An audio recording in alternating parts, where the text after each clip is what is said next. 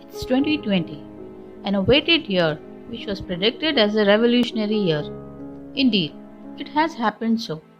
In this pandemic situation of COVID 19, a technology which has emerged as a boon for mankind is 3D printing. In Italy, this technology came into rescue for hospitals when valves to reanimate medical devices were not available and traditional manufacturing ways were shut. So, the future of working is changing. 3D printing is already changing the way we produce objects. But you are not aware of the different 3D printing techniques out there. Do you want to know what is 3D printing? How and where it can be used? And why you should adopt this revolutionary technology soon? Planeta 3D knows it all and so here is video session on introduction to 3D printing. In this 1 hour and 34 minutes session, you will get introduced to Industry 4.0.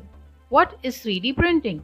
3D designing, 3D scanning, and the best part is that unlike regular sessions, it has 7 different 3D printing processes and 18 different technologies based on each individual process. We at Planeta 3D are there for you to demystify the technology that's shaping the future. Come and upgrade your knowledge. Change your life. Start here.